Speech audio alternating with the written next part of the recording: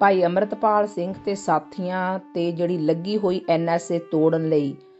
ਵਕੀਲ ਦਾ ਕੀ ਕਹਿਣਾ ਹੈ? ਆਓ ਆਪਾਂ ਐਨਐਸਏ ਤੋੜਨ। ਵਾਸਤੇ ਪਹਿਲਾ ਪ੍ਰੋਸੀਜਰ ਤੇ ਆ ਜੀ ਵੀ ਉਹਨਾਂ ਦੀ ਉਹਨਾਂ ਨੇ ਰਿਪਰੈਜ਼ੈਂਟੇਸ਼ਨ ਲੈਣੀ ਦੀ within 1 week to district magistrate ਉਪਰੰਤ ਵਿਦਨ 3 ਵੀਕਸ ਉਹਨਾਂ ਨੇ ਜਿਹੜੀ ਆ ਉਹ ਐਡਵਾਈਜ਼ਰੀ ਬੋਰਡ ਸੈਂਟਰਲ ਗਵਰਨਮੈਂਟ ਤੇ ਪੰਜਾਬ ਗਵਰਨਮੈਂਟ ਨੂੰ ਭੇਜਣੀ ਹੁੰਦੀ ਆ।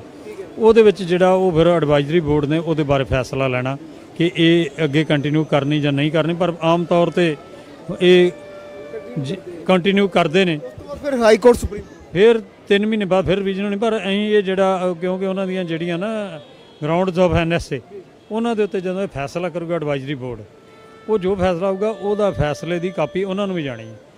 ਦੈਨ ਫਿਰ we'll go to high court ਇਹ ਹਨ ਭਗਵੰਤ ਸਿੰਘ ਸਿਆਲਕਾ ਵਕੀਲ ਜਿਨ੍ਹਾਂ ਨੇ ਇੱਕ ਵੱਡਾ ਉਪਰਾਲਾ ਕਰਕੇ ਜੇਲ੍ਹ ਦੇ ਵਿੱਚ ਅਮਰਤਪਾਲ ਤੇ ਉਹਨਾਂ ਦੇ ਸਾਥੀਆਂ ਨੂੰ ਪਰਿਵਾਰ ਦੇ ਨਾਲ ਮਿਲਾਇਆ।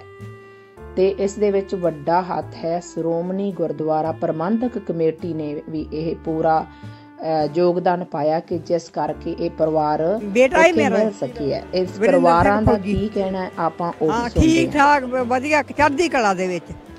ਮਨ ਖੁਸ਼ ਹੋਇਆ। ਵੇਖ ਕੇ ਬਹੁਤ ਮਨ ਖੁਸ਼ ਹੋਇਆ। ਉਹਨਾਂ ਦਾ ਧੰਨਵਾਦ ਤੇ ਵਕੀਲਾਂ ਦਾ ਜਿਨ੍ਹਾਂ ਸਾਨੂੰ ਖੜਿਆ ਤੇ ਉੱਥੋਂ ਦੇਰ ਪਹੁੰਚਾਇਆ। ਮੁਸ਼ਕਲ ਸੀ ਜਾਣਾ। ਹਾਂ। ਕੁਲਵੰਤ ਸਿੰਘ ਜੀ ਮੈਂ ਕੁਲਵੰਤ ਸਿੰਘ ਦੀ ਵਾਈਫ ਹਾਂ ਜੀ। ਹਾਂਜੀ ਅਸੀਂ ਉਹਨਾਂ ਨੂੰ ਮਿਲ ਕੇ ਆਏ ਹਾਂ ਜੀ ਐਸਜੀਪੀਸੀ ਰਾਹੀਂ ਅਸੀਂ ਮਿਲ ਕੇ ਆਏ ਹਾਂ। ਬਾਕੀ ਵਕੀਲ ਸਿਆਲਕਾ ਸਾਹਿਬ ਦਾ ਅਸੀਂ ਬਹੁਤ ਬਹੁਤ ਧੰਨਵਾਦ ਕਰਦੇ ਹਾਂ ਜੀ ਜਿਨ੍ਹਾਂ ਦੀ ਪਰਮਿਸ਼ਨ ਨਾਲ ਅਸੀਂ ਐਸਜੀਪੀਸੀ ਰਾਹੀਂ ਅਸੀਂ ਮਿਲ ਕੇ ਆਏ ਹਾਂ। ਮਨ ਨੂੰ ਤਸੱਲੀ ਹੋਈ ਹੋਣੀ ਹਾਂਜੀ ਮਿਲ ਕੇ ਤਸੱਲੀ ਹੋਈ ਆ ਹਾਂਜੀ ਜੇਲ੍ਹ ਦੇ ਵਿੱਚ ਵਧੀਆ ਵਰਤਾਰਾ ਹੋ ਰਿਹਾ ਉਹਨਾਂ ਨੂੰ ਵਧੀਆ ਰਹਿ ਰਹੇ ਆ ਹਾਂਜੀ। ਠੀਕ ਨੇ ਭਾਜੀ ਚੜ੍ਹਦੀ ਕਲਾ। ਹਾਂਜੀ ਚੜ੍ਹਦੀ ਕਲਾ ਦੇ ਵਿੱਚ ਆਪਦੀ ਬਾਣੀ ਪੜ੍ਹਦੇ ਆ ਬਾਕੀ ਕਹਿੰਦੇ ਆ ਉਹਨਾਂ ਨੂੰ ਸਭ ਨੂੰ ਵੀ ਅੰਮ੍ਰਿਤ ਛਕੋ ਸਿੰਘ ਸਜੋ ਜੀ ਹਾਂਜੀ। ਕੌਣ ਹੈ ਤੁਹਾਡਾ ਹਾਂ ਮੇਰਾ ਬੇਟਾ ਬਸੰਤ ਸਿੰਘ। ਹਾਂਜੀ ਬਸੰਤ ਸਿੰਘ। ਮੈਂ ਉਹਦਾ ਡੈਡੀ। ਮਿਲ ਕੇ ਹੋ ਕਿੱਦਾਂ ਲੱਗਿਆ ਜੀ? ਠੀਕ ਹੈ ਜੀ। ਠੀਕ ਹੈ ਚੜ੍ਹਦੀ ਕਲਾ ਹਾਂ ਚੜ੍ਹਦੀ ਕਲਾ। ਵਧੀਆ ਉਪਰਾਲਾ ਕੀਤਾ ਗਿਆ। ਹਾਂ ਸ਼੍ਰੋਮਣੀ ਕਮੇਟੀ ਨੇ ਬਹੁਤ ਧੰਨਵਾਦ ਨਹੀਂ ਤਾਂ ਸਾਡੇ ਕੋਲ ਮਿਲਣ ਦੇ ਪਾਵਰ ਹੀ ਹੈ ਨਹੀਂ ਸੀ। ਜਾਣ ਦਾ ਬਹੁਤ ਔਖਾ ਸੀ। ਇਹ ਤੁਸੀਂ ਵੇਖ ਰਹੇ ਹੋ ਲਾਈਵ ਤਸਵੀਰਾਂ ਜਦੋਂ ਪਰਿਵਾਰ ਅਮਰਤਪਾਲ ਤੇ ਉਹਨਾਂ ਦੇ ਸਾਥੀਆਂ ਨੂੰ ਜੇਲ੍ਹ ਦੇ ਵਿੱਚੋਂ ਮਿਲ ਕੇ ਆਏ ਆ। ਇਹ 에ਅਰਪੋਰਟ ਦੀਆਂ ਤਸਵੀਰਾਂ ਹੈ ਤੁਸੀਂ ਵੇਖ ਰਹੇ ਹੋ ਲਾਈਵ। ਹਾਂਜੀ, ਬਹੁਤ ਵਧੀਆ। ਅਸੀਂ ਤਾਂ ਇਹਨਾਂ ਇਹਨਾਂ ਸਾਨੂੰ ਮਿਲਾਇਆ ਆਪਣੇ ਹਰਪ੍ਰੀਤ ਕਾਲਸਾ ਦੇ ਜਹੇਦਾਰ ਨੇ ਤੇ ਆਪਣੇ ਸਿਆਲਕਾ ਸਾਹਿਬ ਦੇ ਧਾਮੀ ਸਾਹਿਬ ਦਾ। ਅਸੀਂ ਤਾਂ ਬਹੁਤ ਬਹੁਤ ਧੰਨਵਾਦ ਕਰਨੇ ਆ।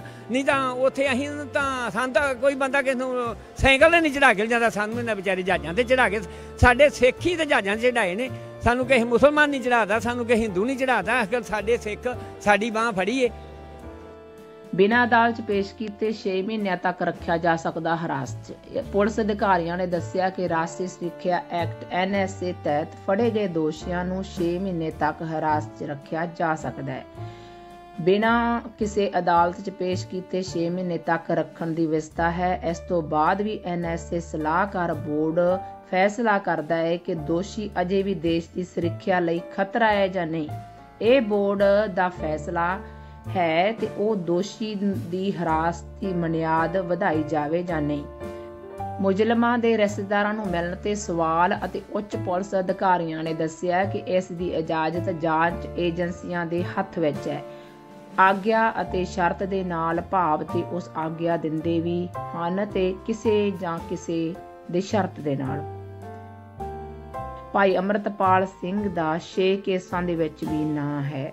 ਤੇ ਜਿਹੜੀ ਇਹ ਐਨਐਸਏ ਹੈ ਇਸ ਨੂੰ ਹਟਾਉਣ ਨੂੰ ਥੋੜਾ ਜਿਹਾ ਮੁਸ਼ਕਲ ਹੋ ਸਕਦਾ ਹੈ। ਵਕੀਲ ਸਾਹਿਬ ਵਕੀਲ ਸਾਹਿਬ, ਜੋ ਵੀ ਅਗਲੀ ਅਪਡੇਟ ਦੇਣਗੇ, ਆਪਾਂ ਤੁਹਾਡੇ ਨਾਲ ਸ਼ੇਅਰ ਜ਼ਰੂਰ ਕਰਾਂਗੇ। ਇਸ ਕਰਕੇ ਚੈਨਲ ਨੂੰ ਸਬਸਕ੍ਰਾਈਬ ਕਰ ਲਓ ਲਾਈਕ ਕਮੈਂਟ ਤੇ ਸ਼ੇਅਰ ਜ਼ਰੂਰ ਕਰਨਾ ਜੀ। ਆਪਾਂ ਮਿਲਾਂਗੇ ਇੱਕ ਨਵੀਂ ਵੀਡੀਓ ਦੇ ਨਾਲ। ਤਬ ਤੱਕ ਰੱਬ ਰਾਖਾ।